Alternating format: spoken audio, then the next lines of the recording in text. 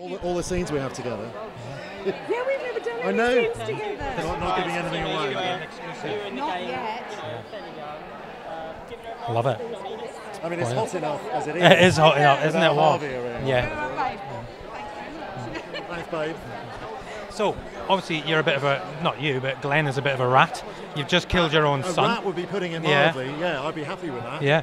Are you are you quite were you surprised when you heard about the twist that he would go as far as killing Adam? Yeah, massively.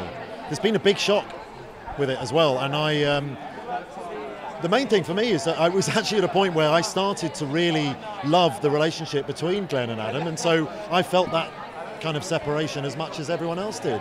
It was a real shock. Yeah. And um, obviously, a, a- away from the, the, the gangster criminal side of things, Yeah. we've seen him. We've seen Glenn treat uh, Grace quite appallingly. Are we going to? Is there, is there more to that story? Is that going to continue? It will continue, yeah. Well, mainly just because we- we did a, a, um, a mental health awareness um, promotion a couple of weeks ago, and I was talking about instances with other characters, and they're saying, "So what about Glenn? How are we talking about Glenn and his mental health?" And he's the perfect example of the kind of man that is not able to reconcile himself with his own emotions and analyze them and talk about them, and that's the problem. I don't think he's capable of learning because it's a bit like you know having a scorpion on your back. You just say, "Why did you sting me?" It's because that's what I do. It's the only way you know. So it's, it's probably only going to get worse. Yeah.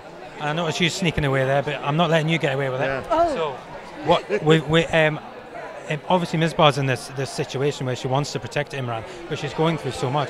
Do you think there'll come a stage where she might have to tell people what's going on? I think so. I think that because of the way she's dealing with it, she's not helping him or herself or the family, um, and it's either going to carry on like that and get worse.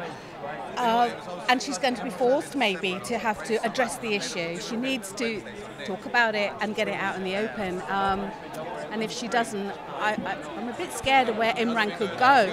And just talking there about Glenn, you Yeah. know, it's kind of scary to see. It's educating the boys as well as the girls. It is to, to see that it starts young, doesn't it? Because you, as an adult, it could go off somewhere